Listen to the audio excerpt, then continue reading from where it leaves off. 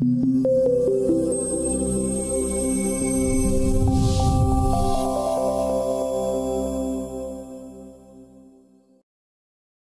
işletim sistemi için geliştirilmiş olan Microsoft Excel 2011 başlangıç eğitimine hoş geldiniz.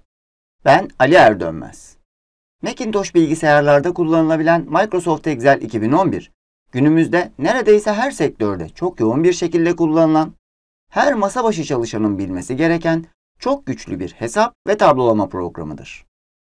Excel ile istatistik, mühendislik, finans ve benzeri tüm alanlarda tablolar oluşturabilir, veri yönetimi, raporlama, modelleme gibi pek çok işlemi rahatlıkla gerçekleştirebiliriz.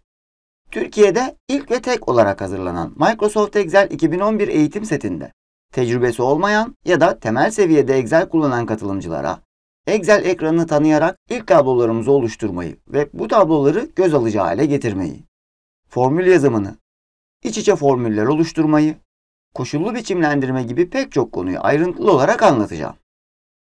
Bu konuda kendinizi geliştirmeye hazır mısınız? Hadi başlayalım.